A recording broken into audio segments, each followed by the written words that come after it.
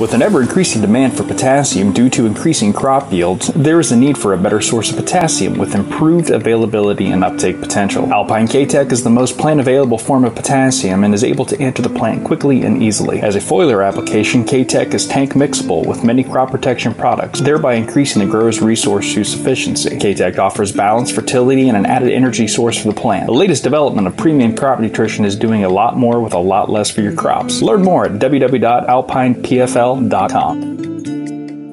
Hello, everybody, and welcome back to part two of the episode Farming is Risky Business. It is, isn't it? Absolutely. Or can be.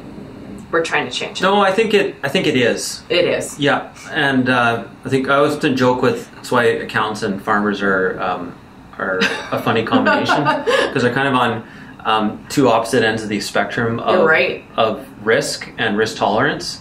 Is I think accountants in general and as a stereotype and profession would be low tolerance to risk, and then you have farmers on the other side of the spectrum, which would be incredibly high tolerance to risk. So, um, True. Anyways, Good point. That was clever. So, in part one of the episode, we just took a look at where we've come from in the economy, farming Yep. a few years back, 2019, and where we're at going into 2020. So, in this episode, we want to look at the risk management tools that can help protect our farming operation.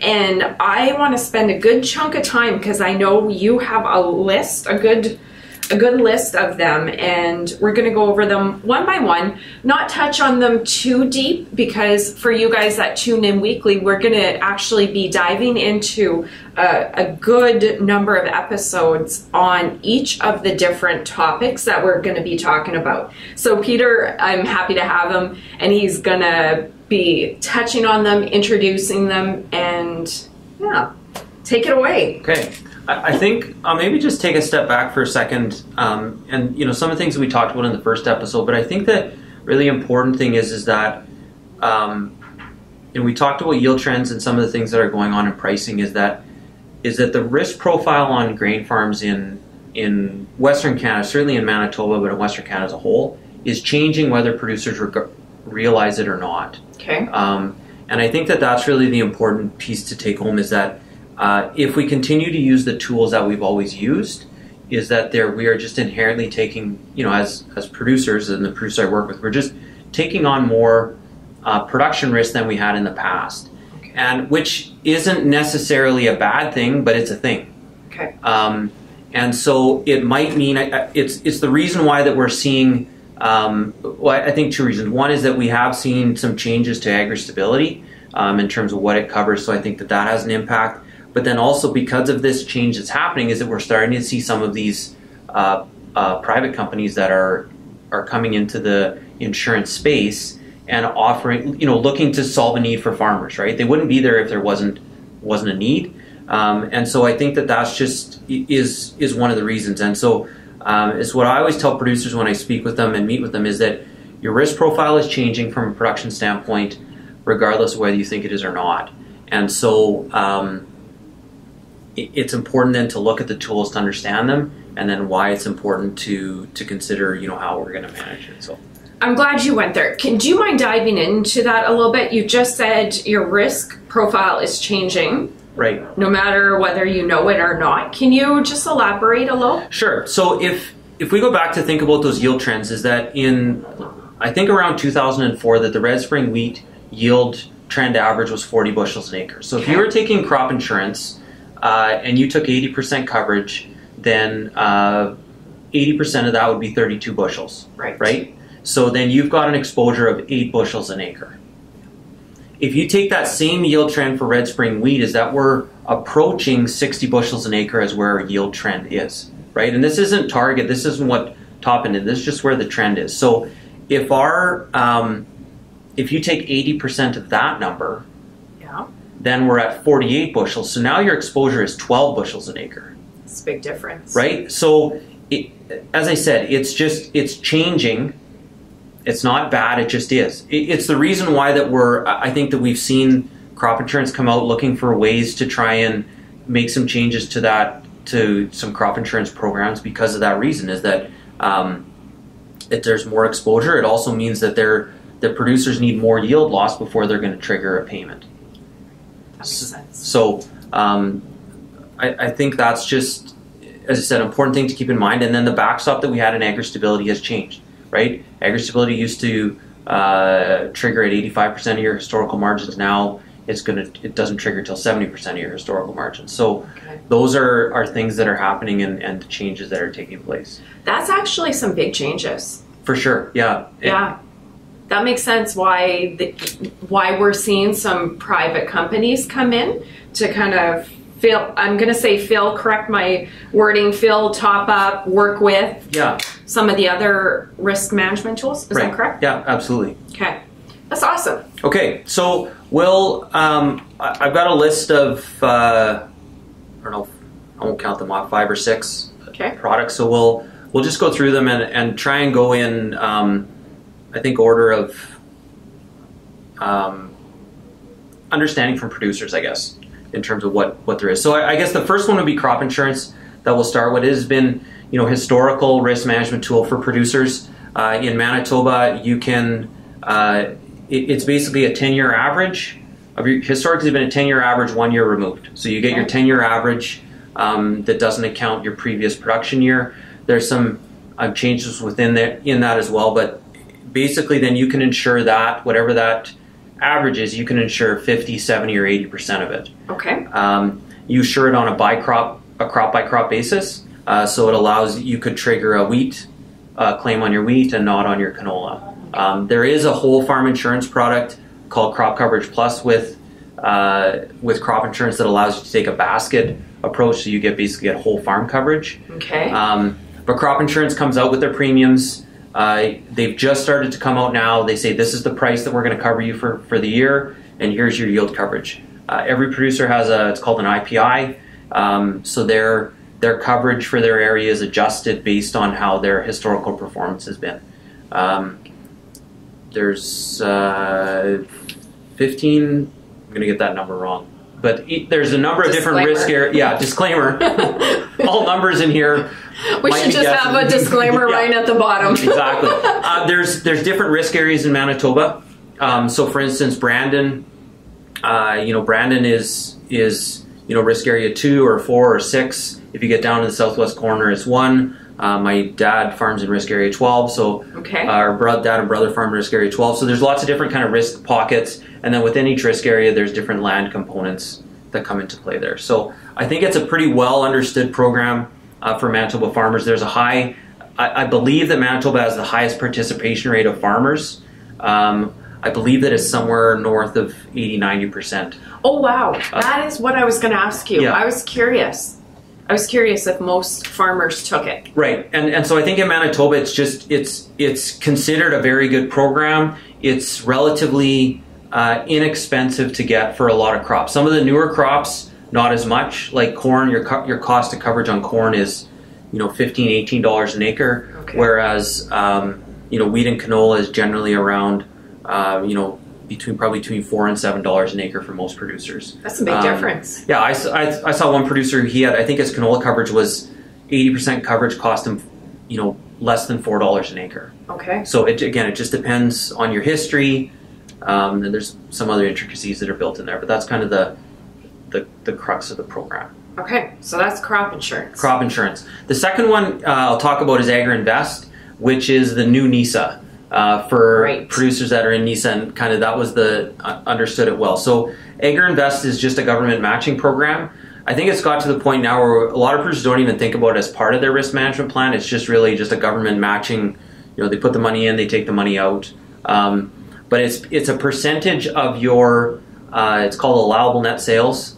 Um, and so it's it's basically a calculation every year. There's a cap for every producer at ten thousand dollars. So you put ten thousand dollars into your account, the government will match it, and then you can take it out.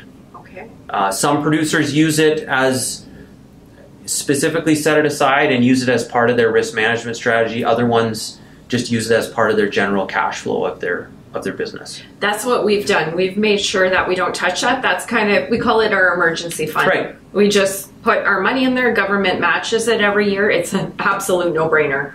Yeah, absolutely. And and, yeah. and so there it's interesting though because you think that it's everyone knows about it and yet we met a I met a producer this year that's farmed in Manitoba um, for a number of years and didn't realize that they could be an agri invest. So there still are producers out there. Yeah. Um, if you are I would say if you are selling any type of of farm product, whether it's cattle or um, if it's cattle or, or grain, then you should be an agri invest. Even if you're a small producer, uh, the paperwork is not significantly onerous. It goes with your tax return. Um, check it off, do the work, get the money from the government. it's a no-brainer you know and i think you're right and that's why i do episodes like this but you look at it we're 2020 we're also overwhelmed with information. Farmers are busy producing their crop. It's hard to keep on top of all these things. Exactly why i do this Yes. show. And to me it's funny. I'm a farmer mm. and the government will match me dollar for dollar for a certain amount according to farm income as you said right? Yeah. Net allowable sales or I believe it's allowable net sales. I may be getting in trouble here. It could be eligible net sales. Disclaimer Disclaimer. but it, it's a basically a calculation based on the sales. It, it's your sales minus uh, purchase of allowable commodities. Is, Okay. is what it. Okay, So excellent. anyways. no brainer. Uh, yeah. Sum that one up. Um, the third one is agri stability, and um, Gets a little more complicated yeah, I, I- a little bit here. I, I think so, and and I think um, there's a lot of misunderstandings about agri stability and, and when it, it would work. I guess first of all, it's a whole farm product, and I'll come back to that. That's a pretty important component. Um, is it's it's a whole farm margin based product. So what that means is that it, it looks at your um, your revenue numbers. Uh, it adjusts for your opening inventory and your closing inventory. Um, and then it looks at so it, it accounts for changes in that and then it accounts for changes in allowable expenses and so your allowable expenses would be uh, you know big ones seed fertilizer chemical uh, your crop insurance would be in there and then fuel and labor uh, i think freight is in there also so those are your main things that are covered so what that does is it gives you a it gives you a, um, a production year margin you look at your history, your five year history, you take your high year and your low year out, and that gives you your reference margin. And so then every year you just look at how your production margin compares to your reference margin. And so uh, each year your, your coverage changes depending on how your five year history looks. And so you'll have your good years and your bad years coming out of your, um, out of your historical margin.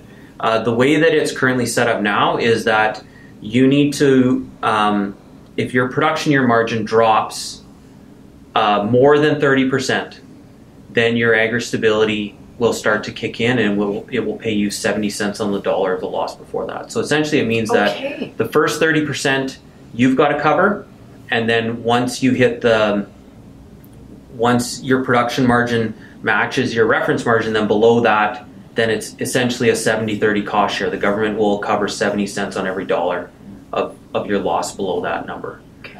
Uh, it is a whole farm insurance product, so that's important and is, um, I think, the frustration of a lot of mixed farmers is that they is if they've got cattle and they've got grain, then and those two things, if they're really good at diversification and managing that risk that way, then that it it it claws back some of the benefits that they get from agri stability.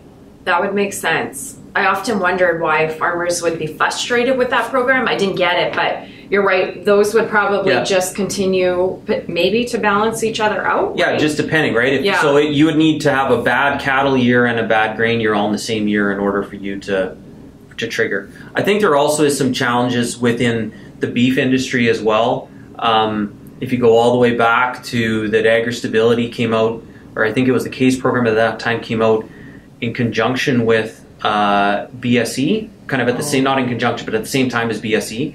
And so what happened was, is because it's margin based and it's based on your history, some really bad years in cattle cattle farming Oh yes. that had no margin. Yeah. So um, if your margin is zero and your uh, seventy percent of zero is is still zero, right? yes. And so I think that that's is some of the challenges that certainly seen it if we look at different sectors than within the beef sector. Because they do five year average, you said. Yeah. Okay. So if you have so the flip side also, if you have five really good years in your history, Yes. really profitable years, then your margin is going to be higher. If you have five years of really high prices, high yield and high prices, like we've seen, you know, we talked about the trends before, is that we've had a, a relatively good stretch here.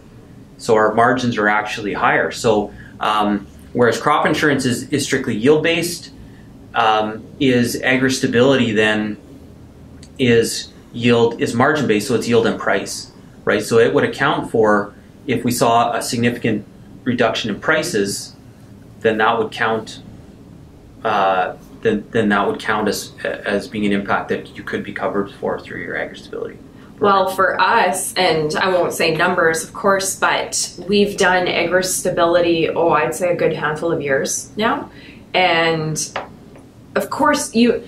I guess it's you. It's like any protection insurance. You don't want to have to trigger it because it means. Right things aren't going great. Right. But that's why it's there, right? And yes. I think producers get frustrated because they don't get payouts, but that's good. You don't. Right. And, right. and, and I think that that is absolutely. Yeah. Because if you're in an agri stability payment, that means that you've already lost yeah. the 30% of your margin. And if we think that most producers are probably, uh, I would say 10 to 15% is what their profit margin is on their overall revenue, then that means that you've already lost. Ouch. Yeah, you're already 30% short of your of what your historical margin is, right? So you're already in a pretty big hole by the time you've triggered your agri stability. Yeah. And you know, I'll put myself out there because I always I'm good with sharing information to learn. But we've been in the program, and in Manitoba, in our area, we've had three tough years for hay. It's been very dry,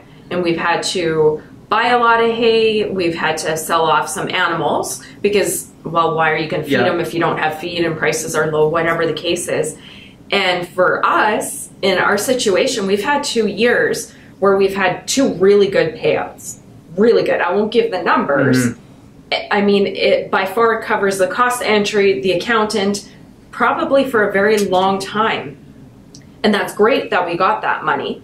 It's not so great where we came from to get the money, but you know, the good thing is that protected us. We got that payout, and now that for us, we took and used that to buy hay. Right. So, again, to me, for our cost of entry, Yeah. it's a no brainer for our farm. And this will be um, kind of an, well, I don't know if it's unsolicited or not, but a plug, I think, for, for MNP and then other, other accounts that understand agri stability very well. Is uh, it, you should be working with a, a, an accounting firm that is able to predict what your payment should be out of agri stability.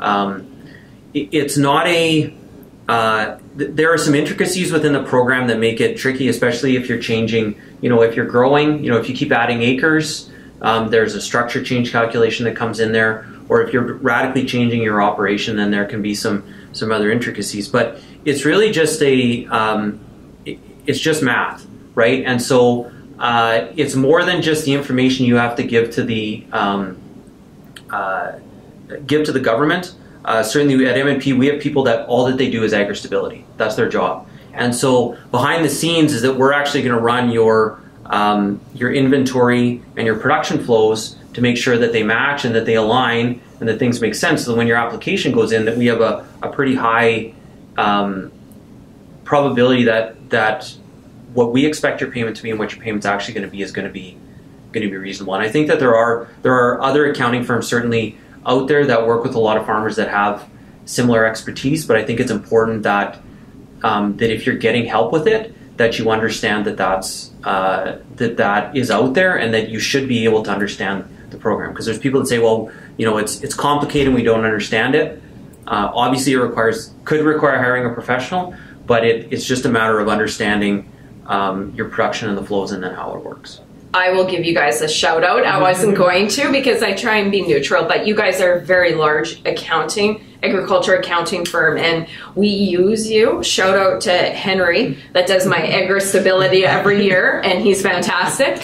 But exactly that, I it is well worth the money that we pay. I'm a big believer in hiring people for their expertise, right? And in the long run, you pay more. I know that, but I always believe it pays off. Going with the cheapest product, if it breaks and you got to replace it four times, you're probably cheaper off buying the more expensive one.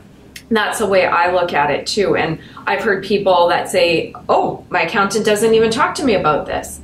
Well, here's the awareness. Yeah. We're sharing the information. Find an accountant, Meyers Norris Penny, or somebody that specializes in these programs and get some help with it. They get it. It's it's Well- not that easy. No, no, and, but I think it's it's it because of the number of, of applications that we do is that we can have people like Henry or like Gwen that works here in our in our Brandon office that focus specifically on agri-stability, Yeah. right? So all the agri-stability applications in Winnipeg go across Henry's desk. All of Okay, the I applications didn't realize that. Yeah, all of the applications in Brandon uh, go across Gwen's desk here, right? So that they can specialize, that they understand, that they know the questions that um, you know, because we all previously get those questions from the government, and that they, you know, questions and they they don't have time to answer them. But Yeah. We will know what the questions are going to be before we'll ask them before they do. I get one call a year.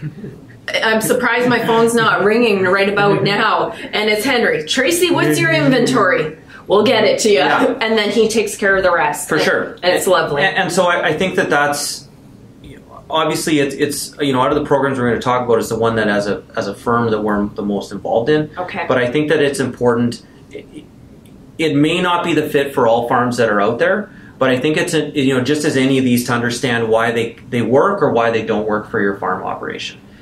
Is there something also be said about having a commitment to a program? I might be off, but if you are just going to dive in, you might be on the side where you've had good, correct my details, but where you're not likely to trigger a payment. Like if you're committed, you're committed. Don't go in and out. Does that I- make sense? Yeah, I think that I think that in all of these programs is that they're they still are basing it on your historical information. So if you're trying to pick and choose, um, you know, from one year to the other, which one works and doesn't work, I'm not saying that you shouldn't do that, but just also understand that you know if you say, well, I'm just going to pick and choose when I can go in agri stability. Um, number one, you've got to decide ahead of time, and number two is you're going to have to do all the work anyways because we need your five years of history to in order to create your reference margin. So we're going to have to go back.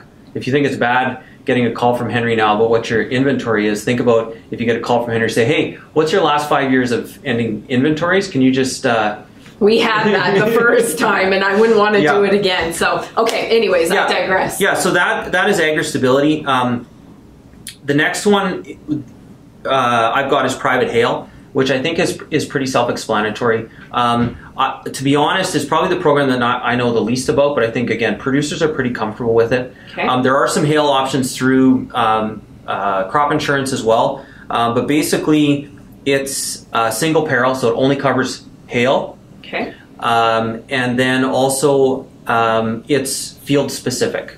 So whereas crop, so agri stability is whole farm, crop insurance is by crop. Hail insurance can be by field. Really? Yeah. I didn't actually know that. Now I know that there are some some other things that are in there that you can you know regarding your deductible and um, and when it triggers and stuff like that. And, and I don't know all the details about that, but basically it's you know we, we take hail insurance.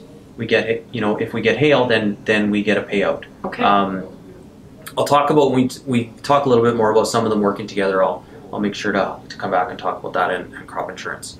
Um, so the other two then on kind of the production risk management side would be some of the private insurance products that are out there. Um, there's really two of them that are are the the most popular, which would be Just Solutions and GARS, that are both um, Saskatchewan based. They're Global Ag Risk Solutions okay. um, I call GARS, um, is that they would be the two most popular, and Global Agris would be the bigger of the two of those. They're been around a little bit longer. Um, but they are, kind of in a nutshell, are, are margin based products similar to, in a way, kind of more similar to agri stability than they are to um, crop insurance. So it's a whole farm insurance, um, and they're going to cover you for your uh, for your input costs and then a margin above that. Uh, so it's based on your again based on your history and your area, um, and then you can pick your insurance based on what you on on what level of coverage you'd like above your input cost. So if you, if you were looking at um, GARS as an example, Just Solutions is a little bit different. I don't have as much familiarity with it uh, just because they aren't um, as common in Manitoba. Um, but it still is kind of margin based, looking at what your expected, you know, again, what's your expected margin for the year and what percentage of that then we can cover. Uh, within GARS, there are, um, well, there's probably 30 different options. Uh, might even be an understatement now. I didn't Wow. recalculate. I think at one point it was 24. I think now it's probably it could be north of 60 different options within the different tools Options and good. options and packages. And options are good to a point. Uh, highlight the book I'm reading right now, which is called The Paradox of Choice. Oh. Or that I've been, I shouldn't say reading, I've been kind of working my way through it. Um, that maybe choice is good to a point, Then it can be overwhelming. then it can be certainly overwhelming. Yeah. Um, and so uh, there are certainly a number of different options that, that tailor themselves together. Um, some of the changes that that AgriStability has come out also uh, impacts that as well, and I'll talk. I'll park that one for right now until we get through the list. okay. Um, so those are are kind of the main ones that we think about when we think about risk and and um, when we talk about risk management tools. But we really there are other pieces that come into that as well, right? So these are production side. We can talk about market risk, right? So obviously we talk about forward contracts. We can talk about using options. Those are two options are really insurance, our price insurance um, that there's a market for and that it's traded on. So those are certainly things that we have to use. And then on the financial side, also there are other tools that we have. Um, the uh, the cash advance, the canola growers or canola growers would be the most popular, but other um, commodities that are out there that offer cash advance programs, those are certainly things are risk management tools that we have. Uh, right? If you think about it, you know, right now we have all this market uncertainty. you don't even think of it that way, right? Uh, yeah, I don't want to, you know, I don't want to sell my grain right now, but I'm forced to because I've got my um, FCC bill that's due in, on the 15th of March. Well, a cash advance, if we use that, so Right. we could use that to help manage our cash flow risk, and then which changes our perspective on on the marketing side. Yeah, I would have never even. I would even lump that more in financial management in my brain the way, but that is right, but cash they, risk. absolutely, and, and so they all tie themselves Yeah. together. Um, you know, our financial structure, working capital, my favorite thing to talk about, um, is do we need to adjust our financial structure and make sure that we've you know our working capital. So our working capital is basically our own money that we're that we've got invested in our operation to help in the day to day with the cash flow component. Okay. So do we need to have a better financial structure that allows us to um, that allows us to manage our risk elsewhere? If we have no debt, uh, no debt. Wow. Wow. I like the sound of that. one producer that's out there. But um, then I would go out and buy more cows. Exactly, So then right? I'd have debt. So then you'd have debt again. and more land. Um, yeah. But but as our debt level changes, then our tolerance for so our debt level changes, so our financial risk increases. right. So then does that force us to manage our production risk more or less, right? You understand what I'm saying? Yeah. So if our debt level goes down, can we afford to take on more production risk because we have less debt, right? Because our financial situation is better, right? And lots of conversations with producers about should we be in crop insurance? Maybe I can self-insure, and Okay. um, that certainly is an option. But understanding that insurance is a law of probabilities. The example that I always give is that you know Brandon had two 100-year flood events in three years, right? In 2011 and 2013. So um, if you can afford to um, Weather that storm. exactly, Pun intended. then then maybe self insurance is an is an option to go down, right? But then how are we going to do that? How are we going to make sure that we've got the financial structure in place that we can afford to weather that storm? Okay, so I really like that point, and that makes sense. If you have no debt, you can weather the storm, pun intended, a lot better than a younger producer that is leveraged pretty heavy, For, right? for sure. Yeah. Okay, that's an important point. Yeah, and so I think that as we kind of tie that into then how do these insurance like do these how do they work together? Is obviously we focus a lot on and even the work that we do in our risk management analysis, it focuses very much on the production side and the production component. Um, but it really involves all those other options. And and so maybe the solution is that it is okay to take on more production risk, but then we've just got to manage our risk a little bit differently from a financial structure side, or that we need to be, you know, change the way that we manage some of that risk in, in the marketing side. And I think just looking at more of a holistic um, component Yeah. to risk management, and and that's really I think what was important is is understanding that you know as I tell clients is that number one is that you are not your neighbor, right? So the financial performance of your business is not the same as your neighbor's is, even though that you think it is. Um, and then the secondly is that your tolerance for risk. You know whether you're um, you know I talk with a lot of farmers about you know that are you know in their 40s and say you know her, risk tolerance is changing right when It i started is. out Actually, it yeah does. right when they started out they had nothing to lose so Right. their tolerance was was quite a bit higher right so now their tolerance for risk is is significantly lower It's so funny you say that. I've been noticing that. Sorry to interrupt. yeah and, and so i think that that's um, i think that's from a bigger perspective is that obviously uh, you know as we as we dive down back into some of those insurance components is understanding how they work together and don't work together is important because there's really no point in us buying um, in buying insurance twice if they're going to cancel if we're only going to be able to claim on one Okay. right for example i just got uh, bumped on my way back from vacation on my flight i had to claim through my travel insurance insurance seen that on Twitter. yeah, so I had to claim through my travel insurance. The first question that they ask me after they get my information is, "Do you have other insurance?"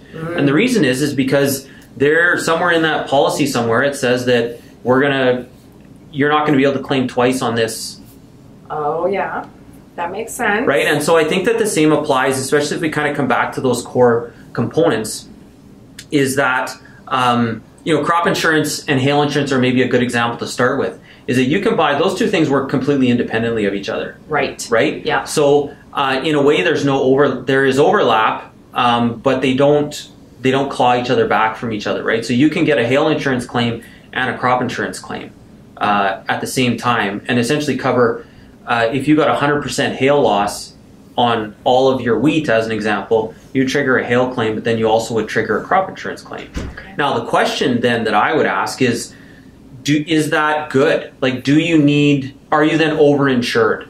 Okay. There's such a thing. I, I think for sure there's such a thing because um, is risk is risk is the opportunity. So if we completely eliminate the risk, then we are giving up our profits, right? Like we're paying a premium, giving up our potential profits to limit the downside exposure to our business, right? It is. It's kind of almost like gambling a little bit. I'm, or not.